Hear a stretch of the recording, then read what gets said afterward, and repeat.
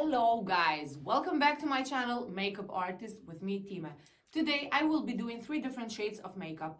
Morphe lipstick, it's blue one, gray one and black one. In case you want to look a little bit extra in any day of your life, you can use these three colors, separated of course, and for decoration you can add a little sparkle as I did.